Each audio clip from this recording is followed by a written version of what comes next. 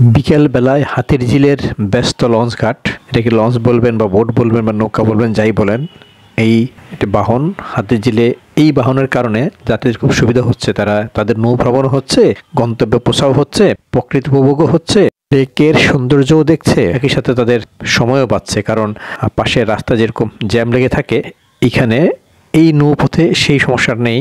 এখানে আপাতত জ্যাম নেই বাট অন্য সময় এখানে অনেক জ্যাম লেগে থাকে। এই হাতির ঝিলের আধুনিক ব্যবস্থার কারণে যাত্রীরা খুব সহজেই এখানে ওঠানামা করতে পারছে। ওই যে দুটি লঞ্চ আসছে, আবার যাচ্ছে হলো নৌকা ইঞ্জিন চালিত নৌকা। একটি ছেড়ে যাচ্ছে, আরেকটি আসছে, যাত্রী টানছে। যে উদ্যোগটা যারা নিয়েছিলেন তাদের অবশ্যই ধন্যবাদ। হাতির ঝিলকে এভাবেই যোগাযোগের একটা ভালো মাধ্যম করার জন্য। এই যে দুটি বোট চলে গেলে আরেকটি বোট আসতেছে। তখন সন্ধ্যা নেমে আসছে, হাতির ঝিলের ও প্রান্তে সূর্য ডুবছে আর বোটগুলো ছুটে যাচ্ছে যাত্রী নিয়ে বিভিন্ন দিকে, কোনোটি আসছে, কোনোটি যাচ্ছে।